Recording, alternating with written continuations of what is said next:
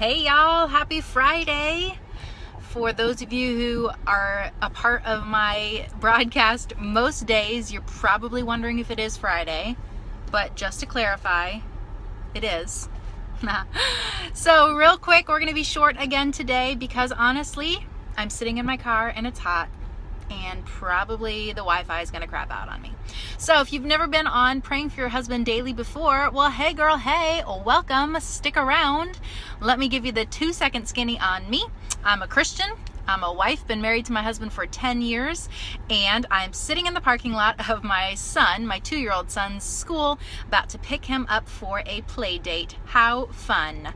So that's me in a nutshell. Christian wife, mama, little bit diva, I think that about does it.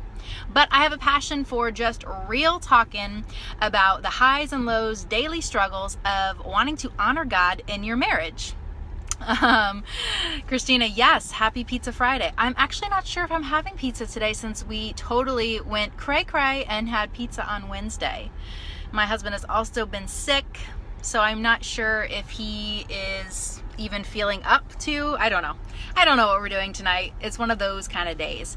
So um, that kind of cues today's topic. I think I said for mutual understanding. Um, I love the shock faces that you guys are saying right now because you're not sure if I'm having pizza. The truth is, is I would have pizza every day of my existence but sometimes he gets like burnt out on it. I don't understand. I just don't understand. So I could see him saying, Well, we just had pizza the other night let's have chicken soup. It's very possible because he's not feeling well. So if that's the case, I will get him Panera soup and I'll get something else from Panera. Right? Right. I mean, I already had breakfast and lunch from Panera today. Anyway, I'm digressing. So, if you've never been on these videos before, let me just tell you what we do. We take something super practical about marriage and we chat about it real quick because you know girls like to talk and then we lift it up in prayer, recognizing that every single area of our marriage can and should be covered in prayer on a consistent basis so that one, we're constantly growing in our relationship with God because that's what prayer is all about. And number two, we're consistently growing as wives because I don't know about you, but I need to be growing as a wife like faster or something. So um, today I said we'd pray for mutual understanding because I feel like that's what I need from my husband right now. Can I get an amen? Ugh. So, um, like I said and have been saying, he's not been feeling well, and I feel a little bit like, um, hi Katie, um, I feel a little bit like I'm oh, I don't know, like burning the candle at both ends. What's another phrase? Treading water, um, sucking at life. I mean, they're all the same. And um, hey, Maggie, I miss you in real life. Um, so I feel that way. And as much as I feel that way, if I stop and think for more than a millisecond about how my husband probably feels, he feels that way too, right? He totally must. Because if I stop and think for a millisecond about the daily pressures and challenges and responsibilities that are on my husband's shoulders, it's enough to make someone feel that way all the time. So if he's feeling that way and I'm feeling that way, the best thing I can pray for is for a mutual understanding because what comes so easily, I was talking with my best friend about this today, what comes easily is to take it out on each other. Like because that's what we do. We just we take out our stress, our our anxiety, our tiredness. We take it out on those that are um are most closest to us. We take it out on them just like without even thinking. It just happens. And so, what if we were to combat that with praying in advance that our husbands would have kind of that that grace, that understanding that even though they're carrying a lot, we're also carrying a lot. Um, and if I just stopped and like filtered my responses through that lens of he's a, he's got a lot going on. It's not that he doesn't care that I have a lot going on. It's that he has a lot going on too. And so let me just think that through, say a little prayer before I respond, and then hope and trust that He'll do the same thing for me. But my whole like life prerogative when it comes to wifing is even if He doesn't do that thing, I would be wise to do that thing on my end. I want God to be pleased with the way I pursue Him and the way I pursue my husband, the way I conduct myself as a wife. And so if there's something I want my husband to do, I'm certainly um, supposed to, and I recommend and I encourage you to pray for him to begin doing that thing or to do it more or to stop doing whatever it is that's coming to mind as we talk about that. But I can't I can't not do what I'm supposed to do or wait to do what I'm supposed to do or do more of what I know I'm not supposed to do because he's not doing those things. Now, you wouldn't say it out loud that you're doing that, but sometimes we do that. We give ourselves almost like the out or the excuse that, well, he's not doing his part as much as he's supposed to, so I don't have to do mine. And that is like the cultural view of marriage where it's like, marriage is 50 50. I'm making a face, but you can't see it because I have my glasses on. But I have no makeup on, and so we're just doing this. Okay, okay.